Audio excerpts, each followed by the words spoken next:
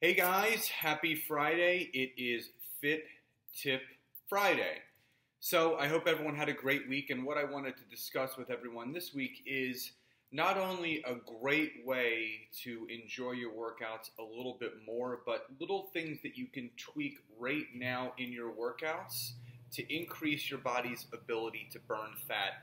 And I talked about some interval cardio last week, but I want to put a little bit of a twist on things. So a lot of people when they go to the gym, they're just going to go in there and they're going to do upper body. They do their sets, they rest in between, then they finish, then they leave. Very, very standard.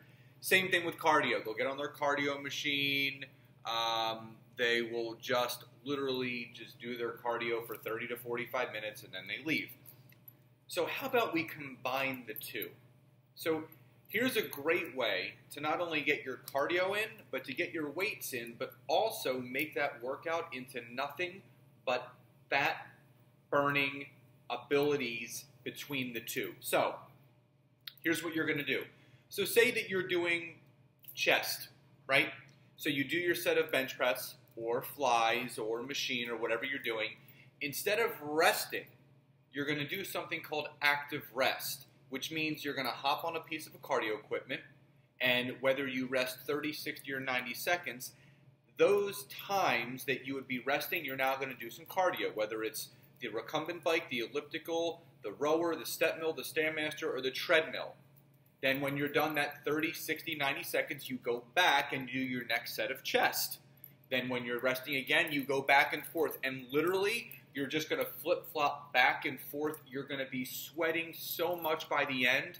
But here's the other great thing is that you're going to consistently take your heart rate up and up and up that entire workout. So you're going to burn anywhere between one to one and a half times more calories because of the consistent burn that you're getting between the regular weights and the cardio. So you're going to mesh all of that together.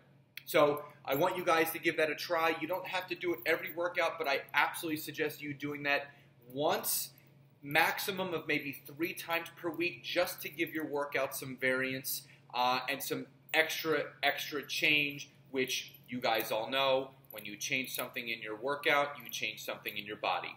I hope you guys found this tip helpful. Let me know how it goes.